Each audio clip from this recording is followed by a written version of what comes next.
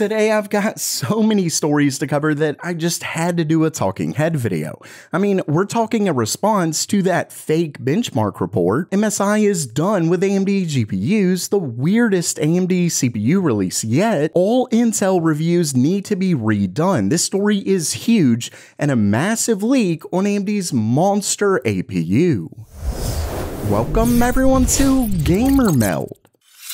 Okay, it's news time, and first up for today, if you saw my recent video, you know that Qualcomm was recently accused of faking benchmarks for their new Snapdragon X Elite and Plus CPUs. That story originally came from SemiAccurate, and they quoted two, quote, major OEMs, and a deep source at Qualcomm. But like I said in that video, he never really explained exactly how Qualcomm cheated. He more or less just said that they did from a supposed source at Qualcomm, and two major OEMs weren't able to get anywhere near the performance. We're talking upwards of 50% of what Qualcomm stated. Well, the company themselves have responded, and as you can see, it says a Qualcomm representative sent Tom's Hardware an official comment on the matter, saying succinctly, quote, We stand behind our performance claims and are excited for consumers to get their hands on Snapdragon X Elite and X Plus devices soon. So yeah, they basically said, uh, these aren't true.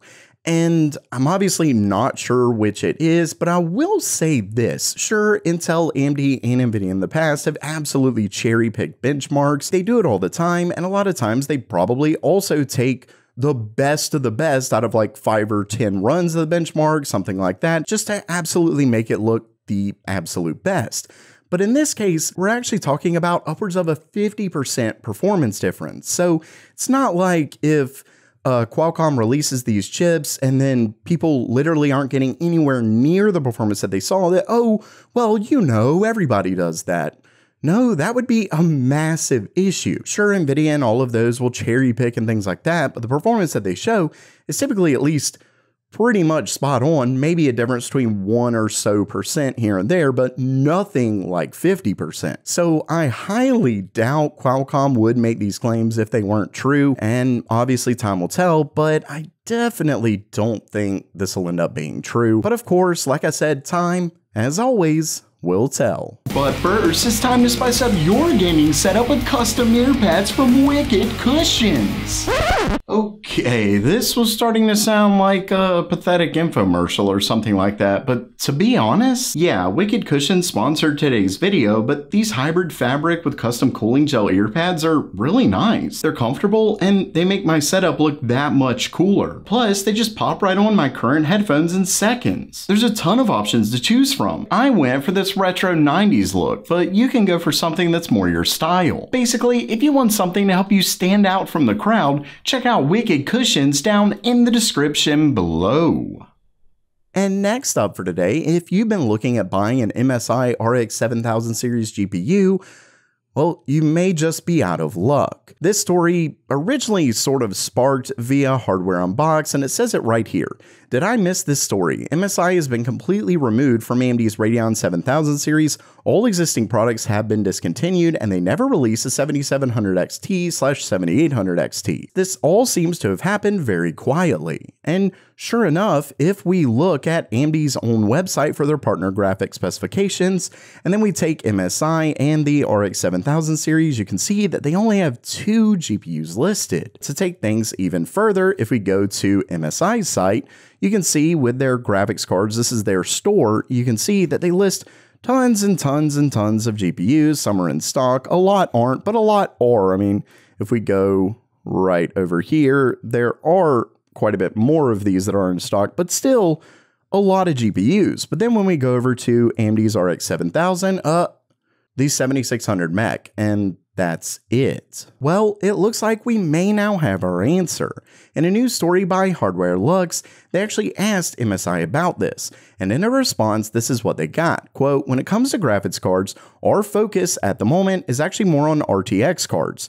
Nevertheless, the collaboration with AMD is essential and extremely relevant for us. We see a very positive development, particularly in the area of main boards. So yeah, I'd say that pretty much says it, at least for now. They are likely done with AMD GPUs, but of course, they are still going to make AMD motherboards, given especially the popularity of Ryzen. That's not a surprise at all. But at least according to this, it does look like they are done with their GPUs, which, at least to me, says that AMD's RX 7000 series is really not selling well at all. And next up, we have a very odd story that I will absolutely say this is something I really want you to take with a grain of salt, but it does at least sound fairly interesting, if not extremely out there. Either way, if we go down here, this originally comes from this Twitter user and later reported by VideoCardz, but basically, according to them, AMD is preparing a new series of EPYC CPUs called EPYC 4004 series. And get this, according to this, it's actually going to be on AM5 boards. Not only that, but they're gonna offer X3D variants. So yeah, I really don't know what to think about this one. I haven't heard anything about this. Like I said, it sounds really suspect, but it would be pretty interesting. I will say that VideoCardz does mention that it's worth adding that AMD has Ryzen 7000 embedded series on their own special board. So, I mean, it may not be as wild as it seems, but obviously, servers look for very different things from consumers. So they likely need to make all new motherboards for these, but they've done similar things with their embedded series. So they really may in fact be doing this, but I wouldn't hold my breath. And next, we have a massive story.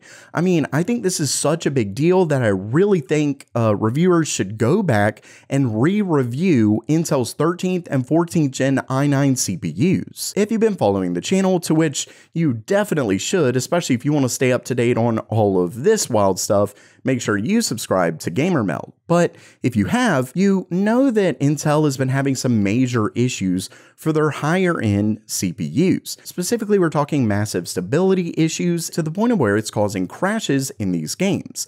And I have been discussing this for a little while. Tom's Hardware basically found out that it has a lot to do with the limits or the higher limits on motherboards. Now, like I've said multiple times, I really like to reiterate this. Motherboard vendors have been doing this for quite a while now, and it's never caused these issues because Intel typically has safeguards in their CPUs that don't let power to completely run away with them. But it seems like their 13th and 14th gen CPUs have an issue with this. So I really wouldn't completely put this on motherboard vendors' plates, although obviously they are going much higher than what Intel suggests, but at the same time, they've done this before. Anyway, what's wild about this is that we've seen recently that there was this new stability setting added to Asus motherboards that ultimately hurt performance. Well, this time we're looking at Gigabyte and things are really bad. As you can see right here, it says Gigabyte has released the Intel baseline profile setting within its BIOS for 13th and 14th gen core CPUs, all in an effort to offer more stability to these CPUs. Well, that stability is coming at a gigantic price. We are talking, you can actually see right up here, Gigabyte Z790 Intel baseline profile puts the 13900KF CPU into the Core i7 tier. We can see it right here with some of the first benchmarks coming out of this, where we see that Gigabyte on auto, the uh, 13900KF got 40,021 points. Yeah, but then on the baseline, it got 28,811. This is a gigantic loss of performance. And you can also see that there's pretty big dips from auto to baseline in terms of gaming performance. We're talking 301 to 294. That's not a giant difference. Down here, we go from 216 to 201, 209 to 193, 207 to 200. So, I mean, not a giant difference, honestly, comparable to um, Asus's update, but at the same time, that is still a difference.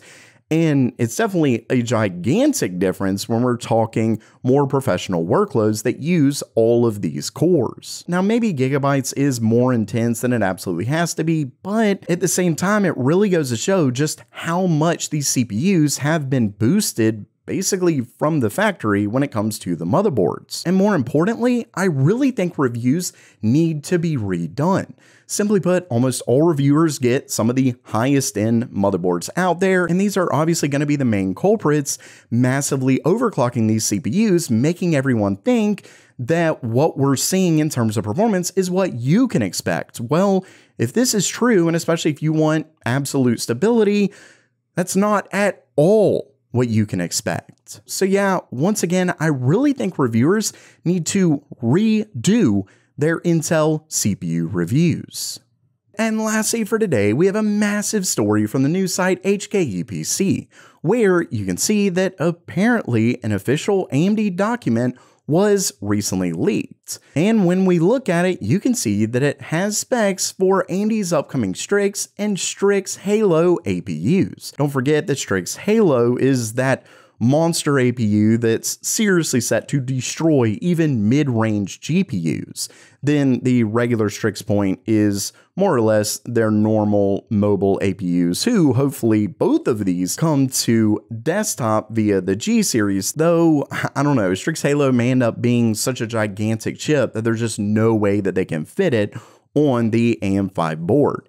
Either way, this is some wild stuff. We have pretty much all the specs here. Starting things off with Strix, you can see that it is apparently getting up to 12 cores and 24 threads, and it is based on their next gen Zen 5 architecture. Then L2 cache, it comes with 12 megabytes, L3 24 megabytes, and then 8 workgroup processors based on RDNA 3.5 workgroup processors, that being 16 CUs. 50 tops of AI performance, definitely looking like a very nice upgrade over last gen. But forget about that because Strix Halo is seriously where it's at. We're talking 16 cores and 32 threads, Zen 5 of course.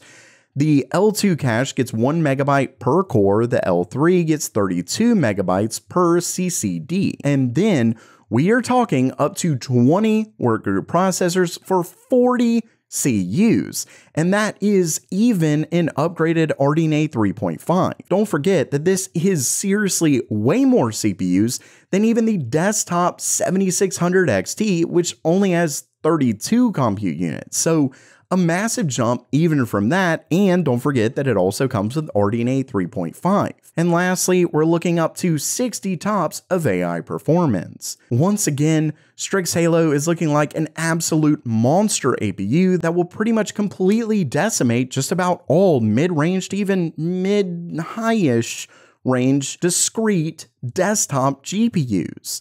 This is really going to be one interesting APU.